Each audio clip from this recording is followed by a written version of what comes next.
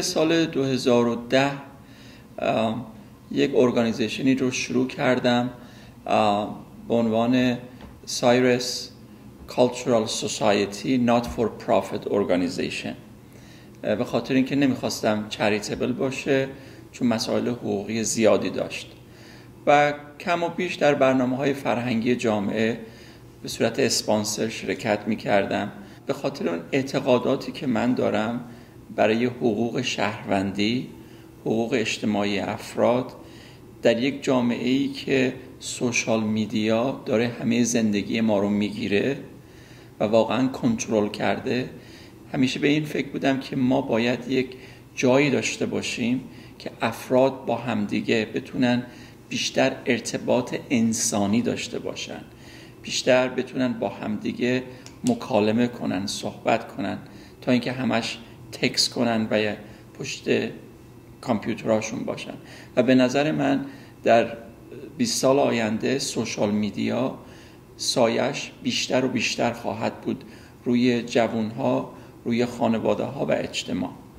من به خاطر این حقوق اجتماعی و حقوق بشری که خودم یکی از فعالان هستم در این چند سال گذشته به این فکر افتادم که ما باید یک جایی داشته باشیم. تا اینکه در سال 2014 شهرداری مارکام اعلام کرد که یک مدرسه مخروبه ای داره. حدود 8 ساله که تعطیل بوده و مواد آلوده اسپستس همه جای اینجا هستش. ورودش خطرناکه و می‌خواست اینو برای مناقصه بذاره برای افرادی که بتونن از اینجا استفاده کنن.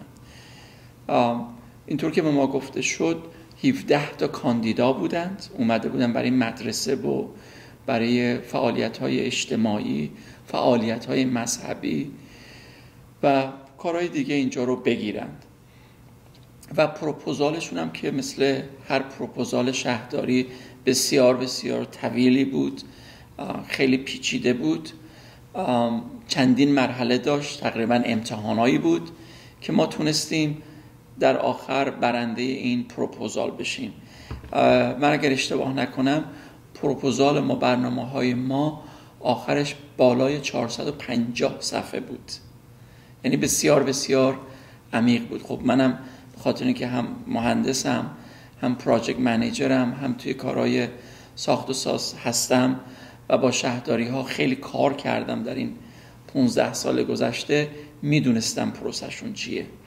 خلاصه با این حدود 450 صفحه که ما دادیم بهشون و حدود یک سال و نیم طول کشید ما تونستیم این لیست اگریمنتی با شهرداری امضا کنیم حدود در دو مرحله به مدت 20 سال. و خوشحالم که با اهدافی که ما داشتیم به عنوان یک کامیونیتی سنتر برای همه و به خصوص فوکس ما و تمرکز ما روی جوونا. تینیجرها از 15 سال تا 25 سال.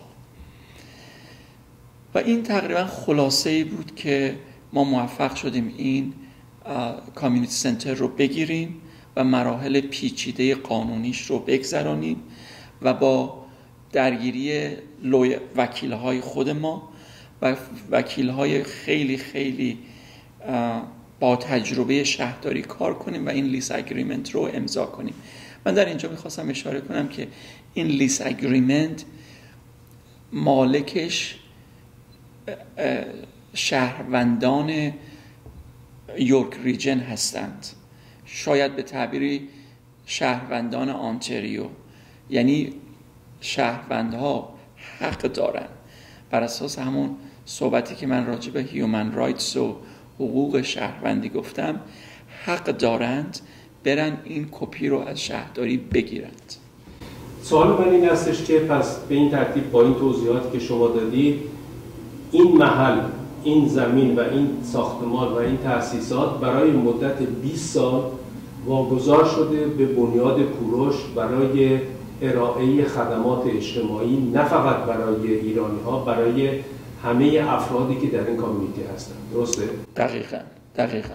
اینجا به صلاح یکی از اهداف یکی که ما می‌خواهیم به خصوص نسل جدید با فرهنگ های مختلف آشنا بشن و بتونن احترام بذارن به افرادی که از ملیت های مختلف اومدن با فرهنگ های مختلف اومدن احترام بذارن و بتونن با هم کار کنن. موفقیت این جامعه به عنوان یک جامعه دموکراسی و مولتی کالچرال اینه که افراد صحبت های همدیگر رو بشنون و به همدیگه احترام بذارن. بتونن تفاوتهاشون رو حفظ کنند و با هم بتونن کار کنن به طرف اهداف مشترک اجتماعی. دنباله سوال قبلی این نکته رو می‌خوام روشن بکنید که پس اینجا این محل در مالکیت بنیاد کوروش نیست در مالکیت شهرداری مارکام هست و در واقع یورک ریجن. آیا شما پولی به عنوان اجاره برای این مدتی که از اینجا استفاده می‌کنیم می‌پردازیم یا اینی که این واگذار شده رایگان برای ارائه خدمات اجتماعی کدوم یکی از همین که همه شهروندان می‌دونن و باید تحقیق کنن شهرداری ها هیچی به شهروندانشون نمیدن. فقط می‌تونن بگیرن که شهر رو درست کنن برای همه. لذا این شهرداری مارکام به ما چیزی تا حالا نداده. قراردادمون این بود که ما یک سرمایه گذاری هنگفتی باید اینجا بکنیم که چندین مرحله داشت. و بر اساس اون سرمایه گذاری بزرگ در خرج اینجا و به این حالت در آوردن اینا به مدت ده سال تقریبا از اون خرجی که ما کردیم از اجارهش کم می‌کنن. به تعبیر دیگه ما در حقیقت اجاره این رو اول پرداختیم.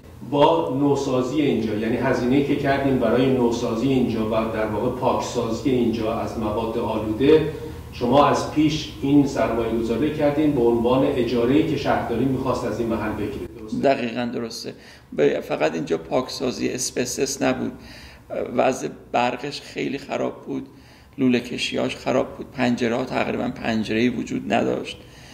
سقفش که اصلا اینجا مثل آب همه جا رو برداشته بود heating system نداشت air conditioner نداشت.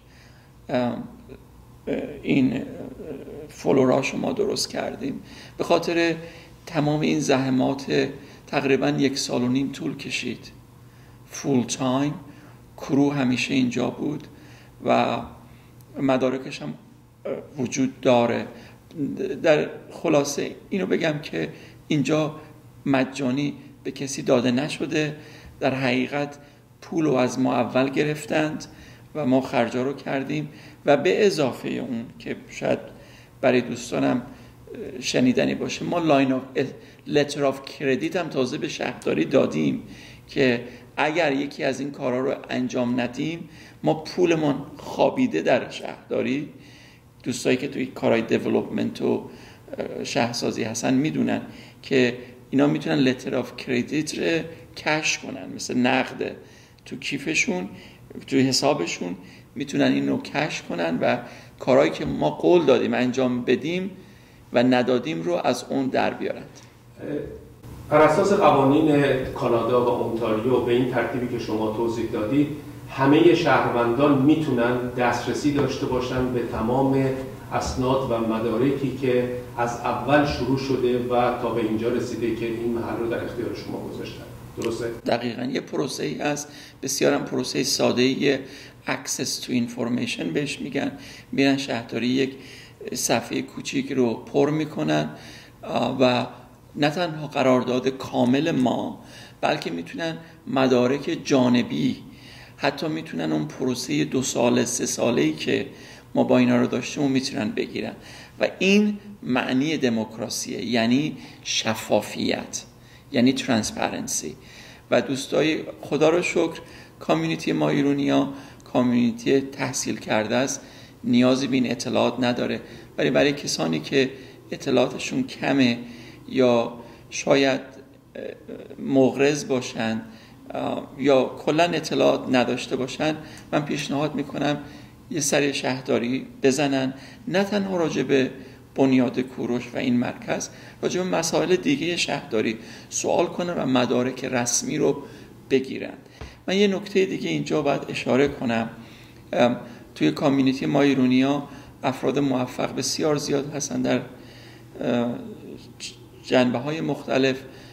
ما یه وزیری داشتیم به نام آقای دکتر موریدی.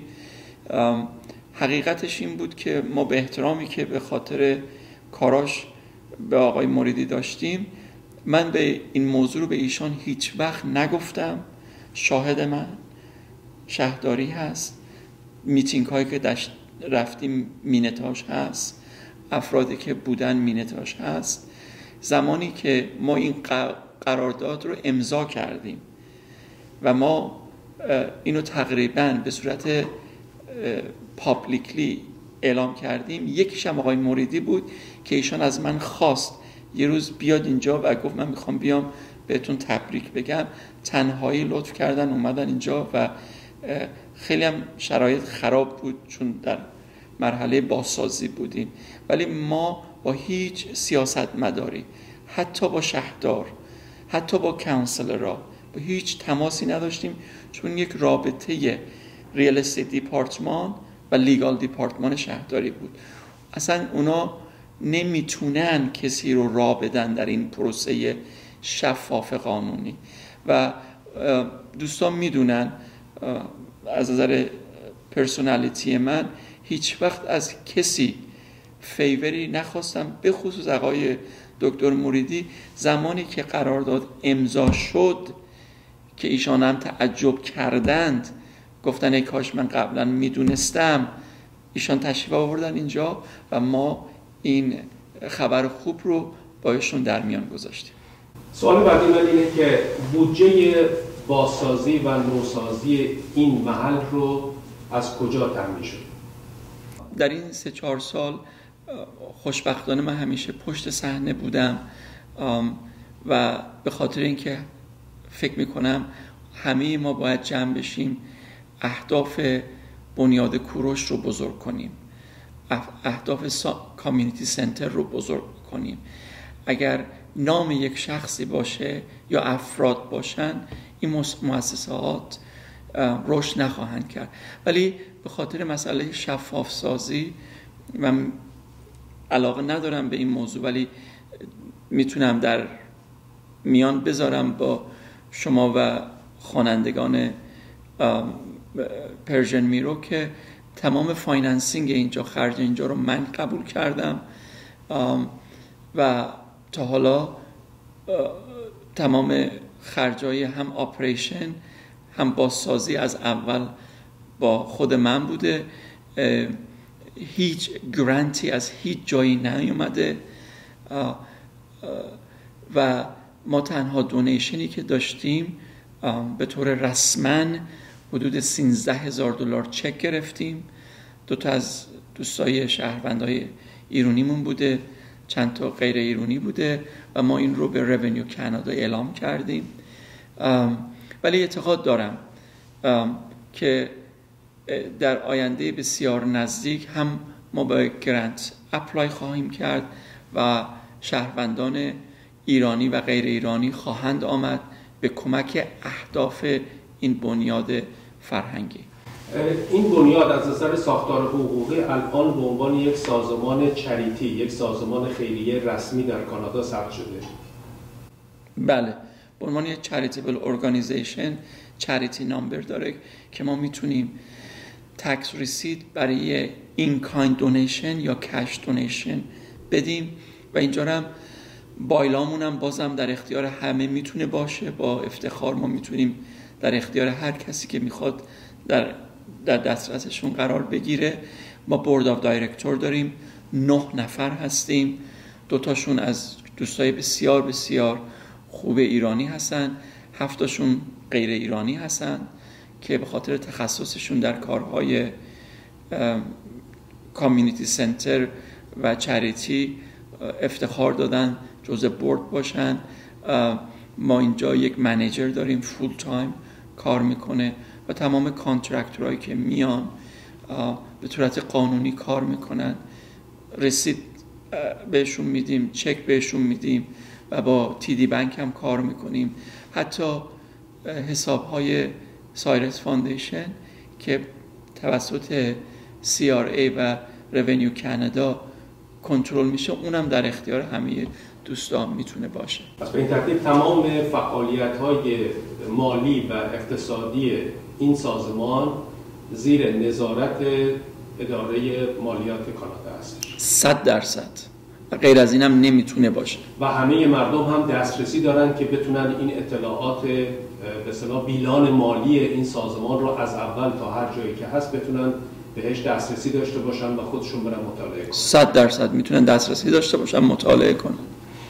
حالا برگردیم به خود این سازمانی که با شما بعد از با این روندی که توضیح دادید اختیار اپریشن و کار کردن رو درش از شهرداری گرفتید و بعد از بیش از یک سال فعالیت اینجا رو آماده کردید برای بهره برداری پشت سر شما دو تا تابلو هستش که در واقع نقشه این بنیاد هستش نقشه ساختمانی این بنیاد هستش.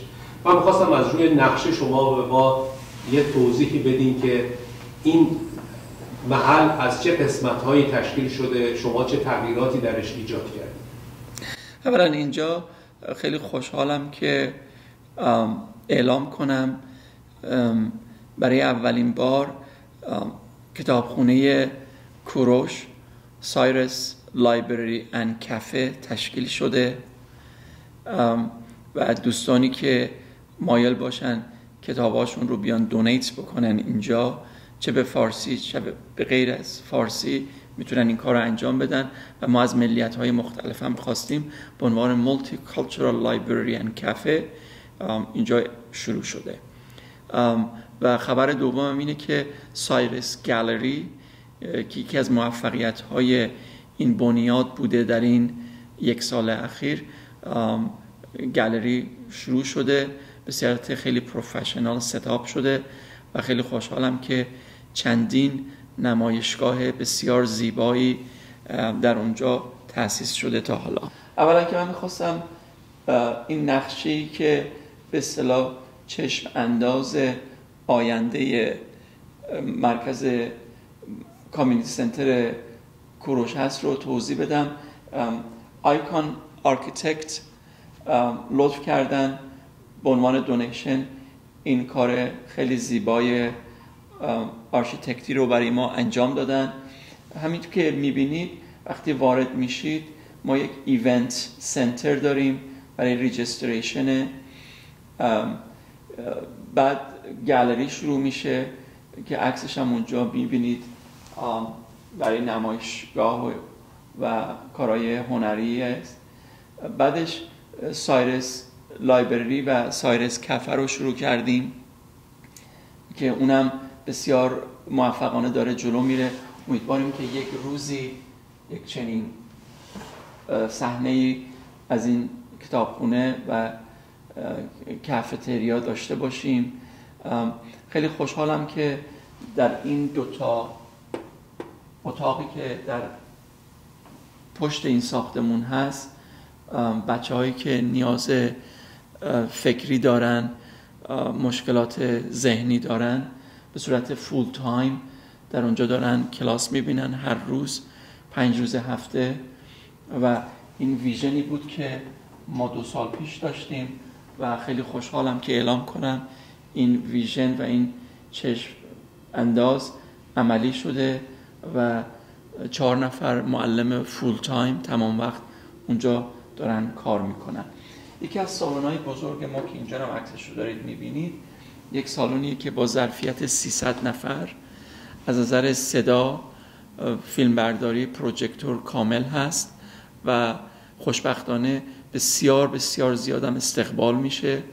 ما شبهایی رو درست کردیم به نام شبهای بین الملل از کامیونیتی های مختلف برنامه هنری موسیقی تئاتر استنداپ کامدی پروفشنال سمینار می‌ذارن و استفاده می‌کنن.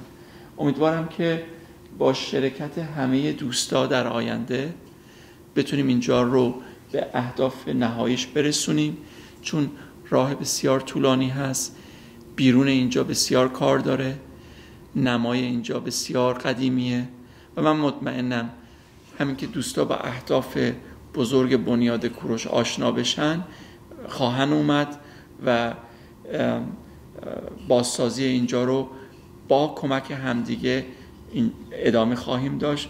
به خاطر اینکه اینجا واقعا مال یک نفر نیست مال همه کامیونیتی است حالا صحبت من که در یک سال گذشته که شما فعالیتتون رو در این مرکز آغاز کردید تا به حال چه برنامه های اینجا انجام شده و فعالیت های روزانه و هفتگی اینجا در مجموع و به طور کلی به چه ترکیب است؟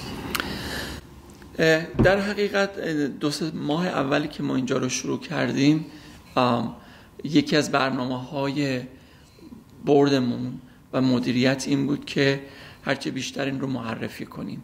به خاطر معرفی کردن اینجا به community ها این بود که سمینار بذاریم.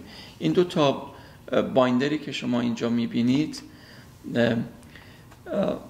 اینا کپی تمام سمینارهایی و workshop هایی که ما داشتیم. بیش از 90 تا workshop و سمینار بوده. بیش از 15 تا کنسرت بزرگ بوده با استنداپ کامدی شبهای بین الملل ما اینجا میهمان دوستان تیرگان بودیم به عنوان شب قدر شناسی از اونها. هنرمندان بزرگ سینما در اینجا بودند.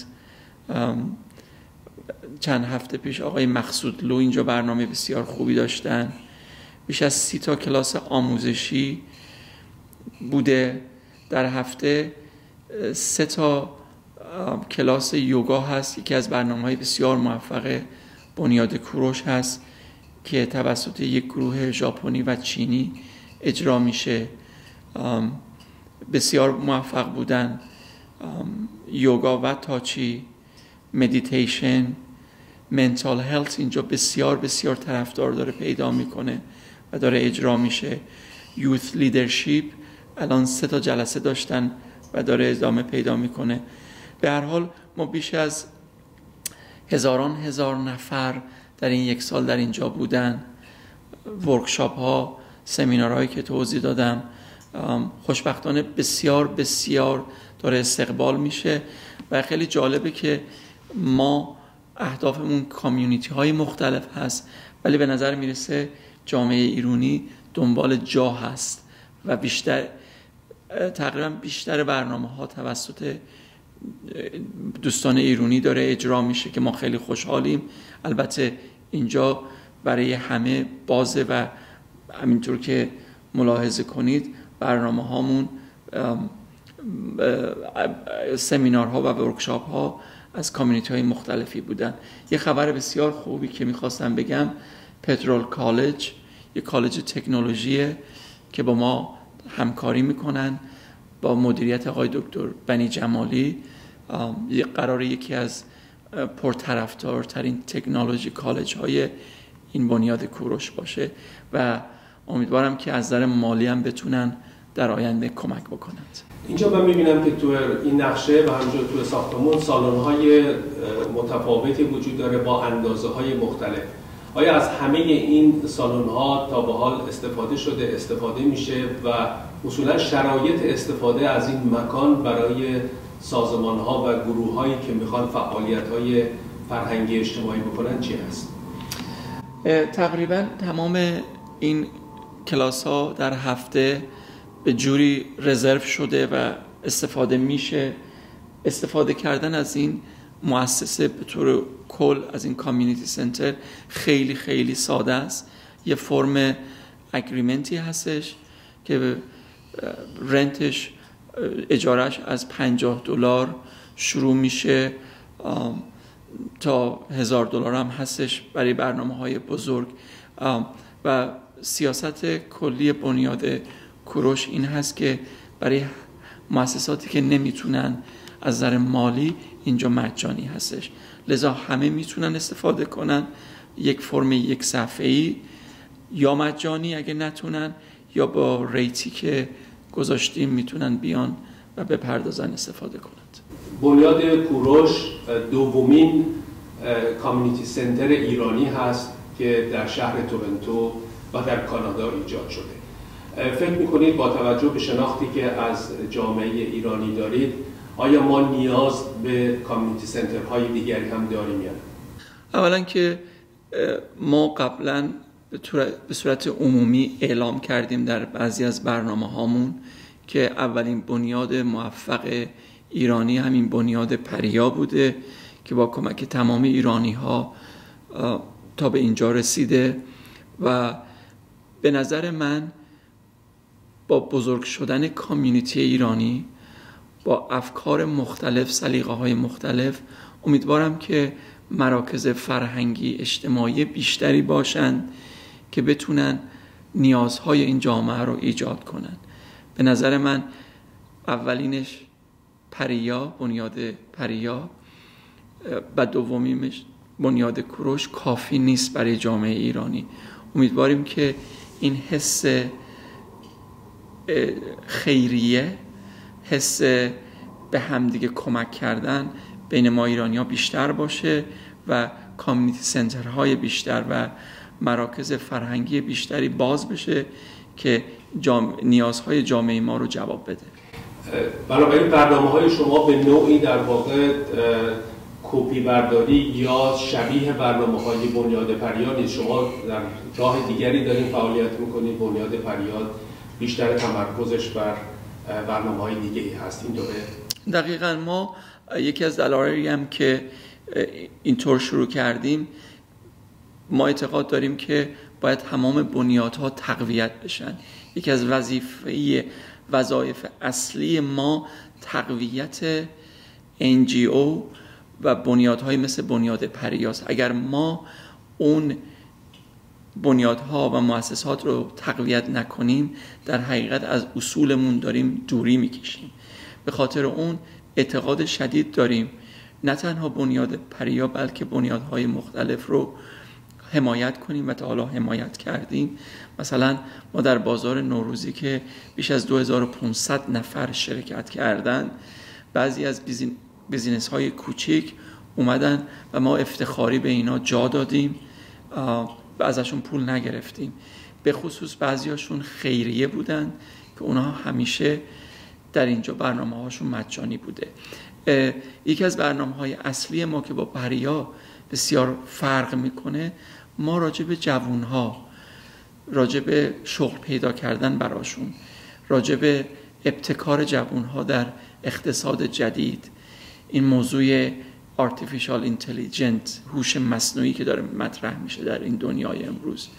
ما برنامهمون تشویق این موضوعات هست. پریا برنامه های بسیار خوب دیگه ای رو داره و ما باید همدیگر رو تکمیل کنیم در پروسه.